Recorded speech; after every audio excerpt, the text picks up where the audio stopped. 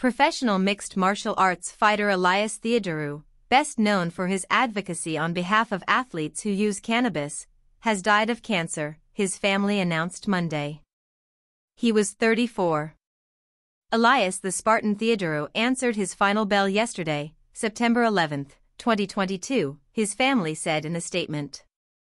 He passed peacefully at home with his family and loved ones in his corner after a hard-fought fight with colon cancer that metastasized. MMA promoter UFC on Monday said the affable Toronto native led a career and a life to be proud of. Elias Theodorou made an impact in his 34 years, one that won't be forgotten, UFC said.